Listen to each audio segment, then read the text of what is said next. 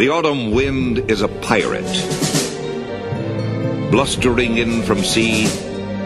With a rollicking song, he sweeps along, swaggering boisterously. His face is weather beaten.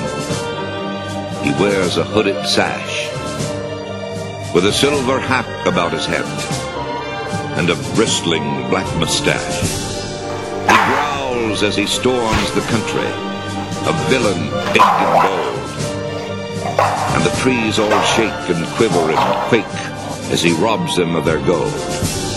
The autumn wind is a raider, pillaging just for fun.